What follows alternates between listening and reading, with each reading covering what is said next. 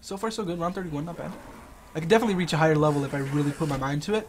And right now, I'm not fully c- focused on it because I'm just really tired. Like I said, I've been I've been live for almost nine hours now, like oh, seven minutes off of nine hours.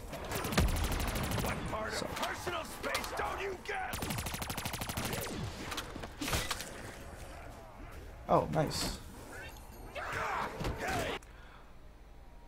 No!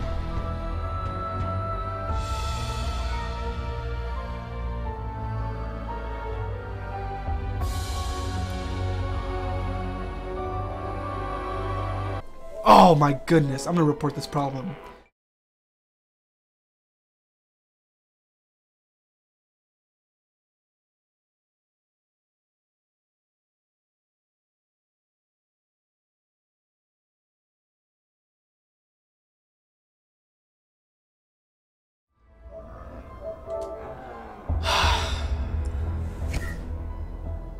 MP, you were here to see that, man. I'm, I'm gonna upload this to YouTube. I have to.